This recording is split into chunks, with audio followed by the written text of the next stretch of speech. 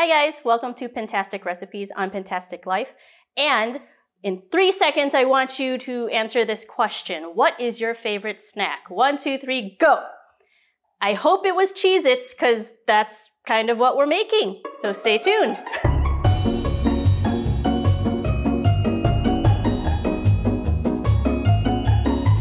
All right, welcome back guys. And like I said, today we are making low carb hold on. It's been a while. I'm sorry. La, la, la, okay, so today we are doing a recipe from eatwell101.com. And I'm turning my head because my phone is sideways and it didn't flip. and we are making the low carb cheese crackers. Thus, why I said, if you like Cheez Its, this video is for you. For the ingredients, we have one cup of mozzarella cheese, one cup of grated Parmesan, and yes, your girl did grate that Parmesan by hand. So this is the fresh stuff, not the one in the green container. I don't know if it makes a difference, so this is what we had on hand. One cup of almond flour, two ounces of cream cheese, one egg, Please don't drop it. A half teaspoon of sea salt. We have pink Himalayan sea salt here. And it's supposed to be one tablespoon of chopped rosemary. But someone didn't tell me that we're all out of rosemary and they used it all and didn't tell me. Sorry. So we're using Italian herbs. Herbs. Herbs? Herbs. It's herbs. Herbs. But I mean, there's rosemary in there. It should taste good. Whatever. Shall we get started? Let's get started. Let's get started. All right. So first thing we do is, I don't know, hold on. I gotta scroll. Okay, we're preheating the oven to 450 degrees. Our oven is very loud. So we are opting to use our, actually it's pretty dirty. Don't look at it. our toaster oven. So we have the option of doing a regular conventional oven or a convection oven, which kind of like moves the air, hot air around and yeah. And then we can air fry, but we're not doing that. So we're gonna put it at 450 degrees and that is pretty much as high as ours will go. Um, let's just go ahead and preheat that. I think that's right. Yeah, okay, we're good.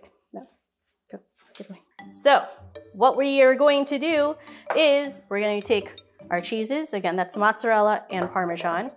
It says here we're going to combine it with the cream cheese. You almost broke I almost broke the bowl. Um, and the almond flour. Almond. You say almond? Almond. Why would you say almond? I don't know. Tomato, tomato. And then we're going to actually put it in a in, oh, we're gonna put it in the microwave. So make sure your bowl is microwave safe. All right, and we're gonna put it in for one minute. And it says immediately stir the ingredients using a fork or spatula until the almond flour and cheeses have fully combined. The cheese should be partially melted. Partially melted. All right, so in the microwave for one minute. Oh, don't look, it's so dirty. so embarrassing. I used my middle finger and I probably shouldn't have. Anybody else use their middle finger? No? Okay. Okay, we're good. I think they're partially melted. Should I think?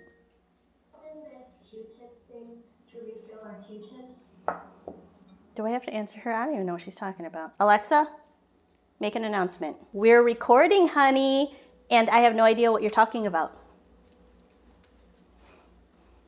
Announcing. So we are using a spatula. I'm guessing if they said a fork or a spatula, you're, you want a stiff one. And it looks like we're just going to combine. Oh, this reminds me of that stromboli that we did. Do you remember that? Nah, no, not at all.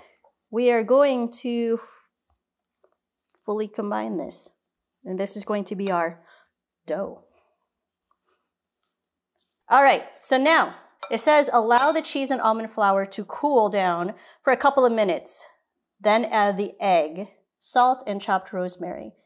We have to make sure this dough is uh, cool because we're adding that egg and we don't want it to be scrambled eggs, right? We don't want no scrambled eggs in our crackers. Let's go ahead and let that, actually look, it is, it is like dough. Look at that. It kind of looks like bread dough ish. Yeah, does. Yeah, right? All right, so let's let that cool for a bit. Shall we? Michelle, We shall. we take a break. Yeah. Hi, Budge. Hi. How are you? All right, so we gave it a few minutes to cool down. I think it is good. It did say that if the cheese gets too hard or it's hard to kind of like manage, you can go ahead and put it in the microwave for another 20 seconds. But I think we are good here. I hope so. So now we are going to add our egg, salt, and whoop, our herbs. Ooh, that's a lot of herbs. Oh, it smells good already.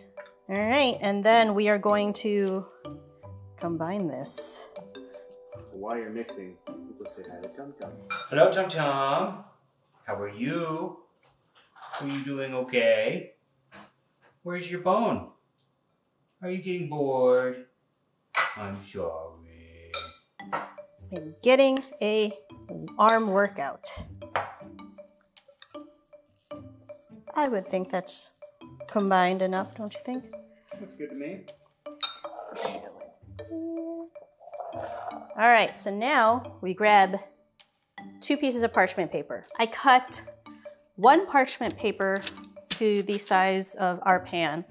Um, I did that because with the toaster oven, sometimes it'll flap up, so I wanted to make sure. So this is gonna be our bottom. Ooh, don't look at that. Oh, don't look at that.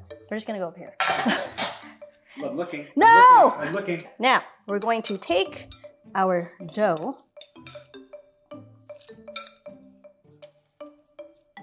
and we're going to press it down.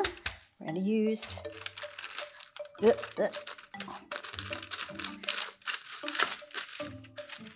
Oh, I, I, I just started doing it. I'm using a rolling pin to kind of thin out press it down, thin it out. Oh, and that fell over. So we need to do this. Geez, we're such amateurs. They did say the thinner your dough is that you make it, the crispier the cracker.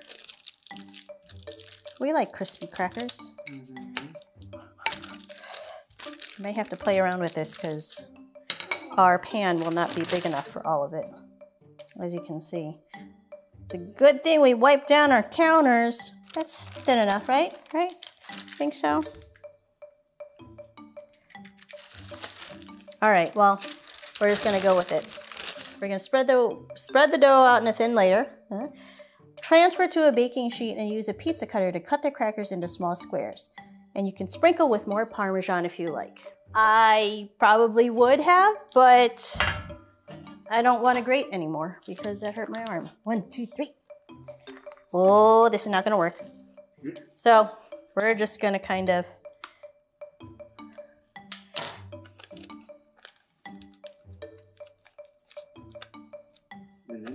We're gonna have to save it for later.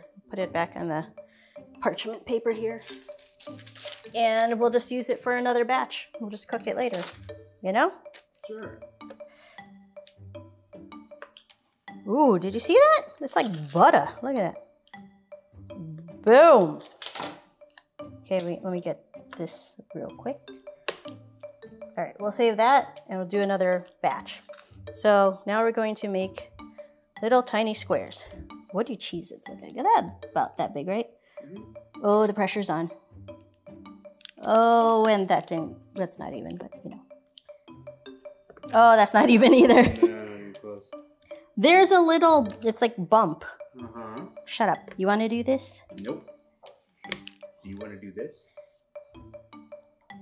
Nope. Just make it as even as possible. I mean, come on.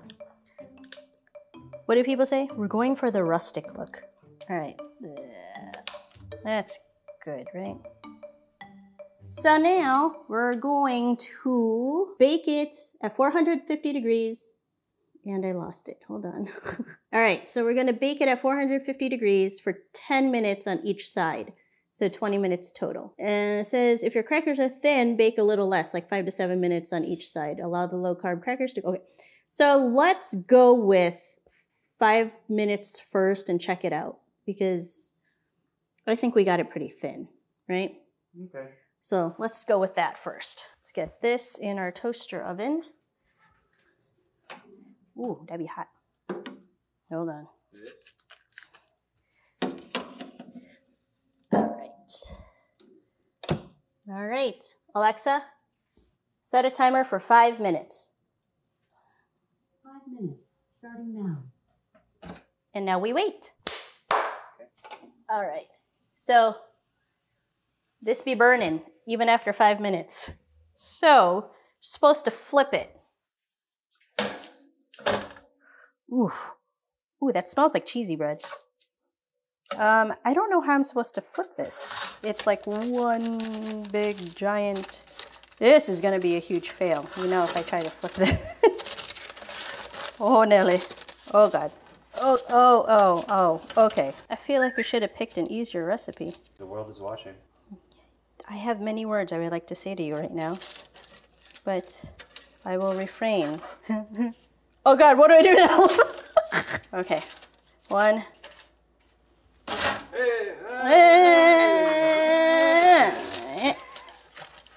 All right. You know, it'd probably be easier on an actual baking sheet and something not this small. So now we uh, need to bake this side. So I would think another five minutes. Definitely keep your eye on it. See how it's already brown? So we're gonna put five minutes, but I'm keeping an eye on it. And please note, sometimes toaster ovens uh, uh, are hotter than, run hotter than ovens, and all ovens have different temperatures and run different, and yeah, so just give you a heads up. All right, so it looks like some of these pieces are burning, so we're just gonna cut it off. That was about four minutes, three minutes. Yeah, that's Toasty. sizzling. Here, I'll turn it that way. So it's almost like burnt. so now it says that we need to put it on a cooling rack for about five minutes. After that, they will be ready to eat. Do I have time to play some Animal Crossing? Nope. But I need to pay off my house. I'm in debt to Tom Nook.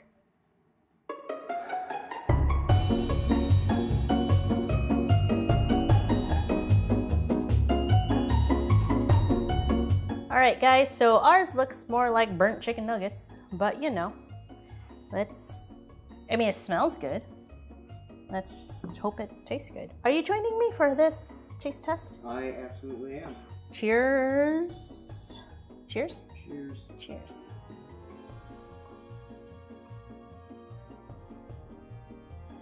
First off, I'm pleasant, pleasantly surprised. Uh, usually, when you cook with almond flour, you get that grainy texture. Um, you don't get that with this. Even though these were burnt, it's still like chewy. It's almost like bread. The texture was almost like bread, like a focaccia bread. Focaccia. It said a tablespoon of rosemary. We did a tablespoon of Italian herbs. I would definitely cut that down.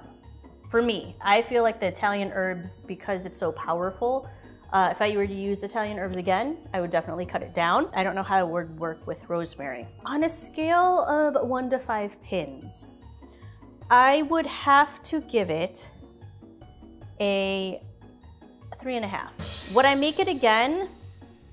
I don't know. And I say that because it was kind of a lot of work for something like this. Yeah, I, I would eat them though. So I don't know. Maybe I would make it, I don't know. But it doesn't taste like a cracker. It's more of like a focaccia bread, crouton kind of thing. And it's not crispy. It's very like chewy. What are your thoughts, Ryan? Uh, I pretty much agree with you. Yes, it is a little on the chewy side. I think it would be good with a dip of some kind. I just don't know. For some reason, sour cream sticks out to me, or, or something sour cream based, or sort of with that consistency. I don't know. Maybe a marinara? Maybe that too. Yeah, because it's got that garlicky bread taste. hmm Whoa! Okay. Sorry, I just got a crispy one. Ooh. Try this one. That one tasted much more like a Cheez It. Yeah. Very much more. They're not bad. I would say, I think I'd give them a three out of five pins. Respectable, but um, you know, not my not my first choice of snack. But after tasting that crispy one, I would want to try again. Try and make it again and make it a lot thinner. And then it almost seems like when you have a crispy one, the Italian seasoning isn't as powerful. All right, guys, so that's the end of the video. Hope you guys enjoyed. Don't forget to like, comment, and subscribe. And what? it's been so long. And if you would like us to do more of these, let us know by commenting down below. And we will see you guys in the next video. Bye.